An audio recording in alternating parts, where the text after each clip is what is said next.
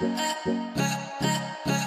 दोस्तों, अगर आप भी रोहित शर्मा को दुनिया का सबसे खतरनाक खिलाड़ी और कप्तान मानते हैं तो वीडियो को लाइक ज़रूर कीजिएगा। दोस्तों, इंग्लैंड के खिलाफ पहले टेस्ट मैच के तीसरे दिन, भारत की बेकार गेंदबाजी और रोहित शर्मा की कैप्टनसी देखकर विराट कोहली से लेकर महेंद्र सिंह धोनी यहाँ तक कि हार्दिक पांडे और सूर्य कुमार यादव गुस्से से आग बबूला होकर भड़क गए।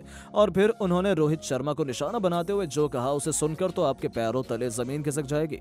तो आखिर क्यों भारत के ही बड़े बड़े खिलाड़ियों ने रोहित शर्मा को भारत के खराब प्रदर्शन का दोषी ठहरा दिया? कैसे रोहित शर्मा ने की बड़ी गलती और फिर इंग्लैंड के बल्लेबाज ने भारतीय गेंदबाजों को धोया। क्या कुछ इन बड़े बड़े खिलाड़ियों ने कड़वे शब्दों में रोहित को फटकार लगाते हुए कहा? यह सब कुछ हम आपको दिखाएँगे, लेकिन उससे पहले आपको क्या लगता है? रोहित शर्मा और हार्दिक पांड्या में से कौन है सबसे खतरनाक कप्तान? नीचे कॉमेंट बॉक्स में ज़रूर बताइएगा। दोस्तों, भारत और इंग्लैंड के बीच पहला टेस्ट मुकाबला हैदराबाद के राजीव गांधी इंटरनेशनल स्टेडियम में खेला गया। इस मुकाबले में इंग्लैंड के कप्तान बेन स्टॉक्स ने टॉस जीतकर पहले बल्लेबाजी करने का फैसला किया, लेकिन यह फैसला उनकी टीम के लिए बेहद खराब रहा।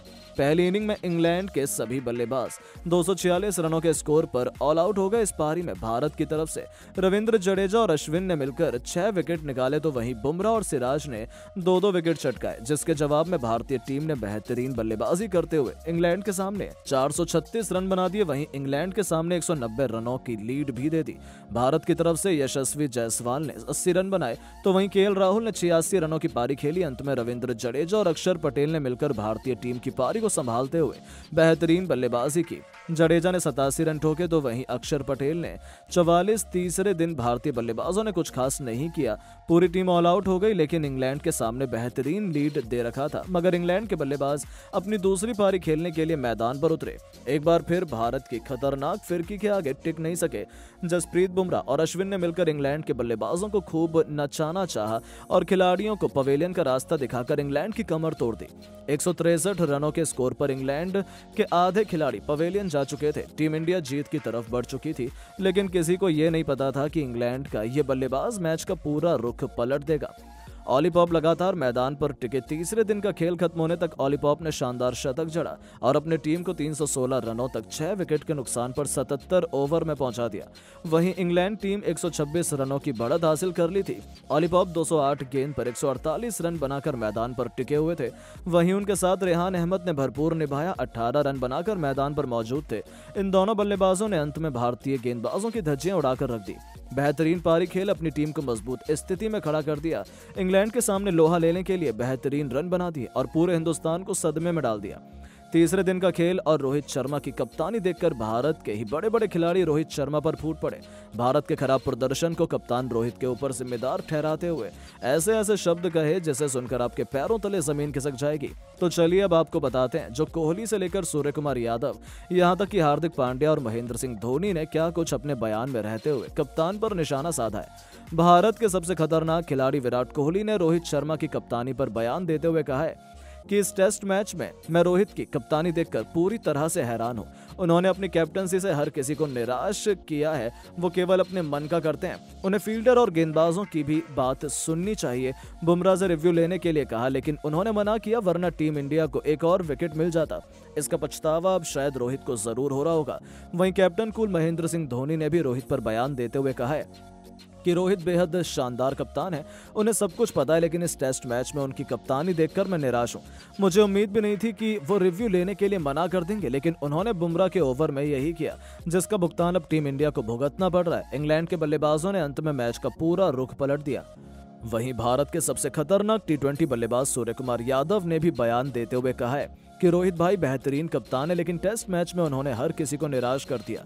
उनका एक डिसीज़न अब टीम इंडिया को भुगतना पड़ रहा है। अगर बुमराह के ऊपर में रोहित भाई रिव्यू लिए होते तो शायद इंग्लैंड की पूरी टीम ऑल आउट हो गई होती। लेकिन अब स्थिति बदल चुकी है, उनके बल्लेबाज मैदान पर टिके हुए हैं। वहीं हार्दिक पांड्या अभी रोहित पर अपनी भड़ास निकालते हुए बयान देकर कहा कि इंग्लैंड के खिलाफ टेस्ट मैच में रोहित भाई ने बेहद खराब कप्तानी की है। उन्होंने जब जब गेंदबाजों से ओवर फेंकवाना चाहा तब तो उन्होंने नहीं कराया। वहीं बुमराह के ओवर में उन्होंने रिव्यू नहीं लिया यह सबसे बड़ी गलती की। वरना टीम इंडिया अब तक मैच जीत चुकी होती। उनकी कैप्टनसी से मैं बेहद निराश हूँ। तो दोस्तों, देखा आपने कैसे भारत के ही टूर कीजिएगा। दोस्तों, पहले ही टेस्ट मैच में भारतीय खिलाड़ियों ने कमाल का प्रदर्शन दिखाकर इंग्लैंड की धज्जियाँ उड़ाकर रख दी और तीसरे दिन ही टीम इंडिया को जीत के करीब लाकर रख दिया। तो पूरी दुनिया ही नहीं, बल्कि टेनिस स्टार खिलाड़ी सानिया मिर्ज़ा की भी आँखें फटी की फटी रह गई। और अब भारतीय टीम के इस लाजवाब प्रदर्शन और कातिलाना गेंदबाजी पर बयान देते हुए करोड़ों हिंदुस्तानियों का दिल भी जीत लिया। तो आखिर सानिया मिर्ज़ा ने ऐसा क्या कह दिया? जिसे सुनकर आप भी स्टार लेडी को सलाम करने पर मजबूर हो जाएँगे। कैसे भारतीय गेंदबाजों ने तीन दिन में कर दिया इंग्लैंड का सुपड़ा साफ़? क्या कुछ सानिया मिर्ज़ा ने दिया बयान? सब कुछ हम आपको दिखाएँगे, लेकिन उससे पहले आपको क्या लगता है? कि बुमराह और जडेजा में कौन है सबसे बेहतरीन खिलाड़ी, नीचे कमेंट करके ज़रूर बताएँ। दोस्तों, भारत और इंग्लैंड के बीच पहला टेस्ट मुकाबला हैदराबाद के राजीव गांधी इंटरनेशनल स्टेडियम में खेला गया। इस मुकाबले में इंग्लैंड के कप्तान बेन स्टॉक्स ने टॉस जीतकर पहले बल्लेबाजी करने का फैसला किया, लेकिन यह फैसला उनकी टीम के लिए बेहद खराब रहा। पहली इनिंग में सभी बल्लेबाज इंग्लैंड के 246 रनों के स्कोर पर ऑल आउट हो गए और इस पारी में भारत की तरफ़ से रविंद्र जडेजा और अश्विन ने मिलकर छह विकेट निकाले तो वहीं बुमराह और सिराज ने दो दो विकेट चटकाए, जिसके जवाब में भारतीय टीम ने बेहतरीन बल्लेबाजी करते हुए इंग्लैंड के सामने 436 रन बना दिए। वहीं इंग्लैंड के सामने 190 रनों की लीड भी दे दी। भारत की तरफ़ से यशस्वी जायसवाल ने 80 रन बनाए तो वहीं के राहुल ने छियासी रनों की पारी खेली। अंत में रविंद्र जडेजा और अक्षर पटेल ने मिलकर भारतीय टीम की पारी को संभालते हुए बेहतरीन बल्लेबाजी की।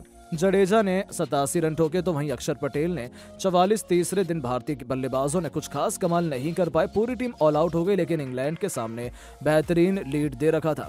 मगर इंग्लैंड के बल्लेबाज अपनी दूसरी पारी खेलने के लिए मैदान पर उतरे। एक बार फिर भारत की खतरनाक फिरकी के आगे टिक नहीं सके। जसप्रीत बुमराह और अश्विन ने मिलकर इंग्लैंड के बल्लेबाजों को खूब नाचना चाहिए और एक खिलाड़ियों को पवेलियन का रास्ता दिखाकर इंग्लैंड की कमर तोड़ दी। एक रनों के स्कोर पर इंग्लैंड के आधे खिलाड़ी पवेलियन जा चुके थे। टीम इंडिया जीत की तरफ़ बढ़ चुकी थी और भारतीय गेंदबाजों ने इंग्लैंड को बहुत बड़ी बढ़त हासिल नहीं होने दी और तीसरा दिन खत्म होते होते टीम इंडिया जीत के मुकाम पर पहुँच चुकी है, यानी कि तीन दिनों में टीम इंडिया ने यह टेस्ट मैच अपने नाम कर लिया है, जिसे देखकर पूरा हिंदुस्तान खुशी से झूम उठा। वहीं स्टेडियम में बैठे दर्शक भी जीत का जश्न मना रहे थे। यहाँ तक कि टेनिस स्टार सानिया मिर्ज़ा अभी भारत की जीत देखकर हैरान थी, और फिर उन्होंने भारत की बेहतरीन गेंदबाजी और जीत पर बयान देते हुए किसी का दिल जीत लिया। तो चलिए, अब हम आपको सुनाते हैं आखिर क्या कुछ सानिया मिर्ज़ा ने अपने बयान में कहा है।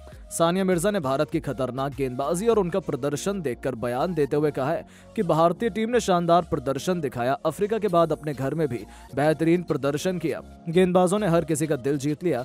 बुमराह और अश्विन ने कमाल का खेल दिखाया। टीम इंडिया ने केवल तीन दिन में टेस्ट मैच को खत्म कर इतिहास रच दिया।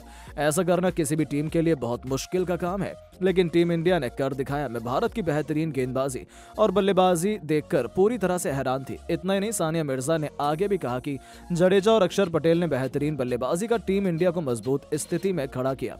ये देखकर हर कोई हैरानी में है, जितनी भी भारतीय टीम की मैं तारीफ़ करूँ कम है। तो दोस्तों, देखा आपने किस तरह से सानिया मिर्ज़ा ने भारत की तारीफ़ में कसीदे पढ़ते हुए। हर किसी को हैरान कर दिया, लेकिन दोस्तों, अब आपको क्या लगता है? रविंद्र जडेजा, अक्षर पटेल और बुमराह में कौन है? बेहतरीन खिलाड़ी अपनी राय नीचे कॉमेंट बॉक्स में ज़रूर दें। और ऐसी शानदार खबरों के लिए चैनल को सब्सक्राइब ज़रूर करें। धन्यवाद।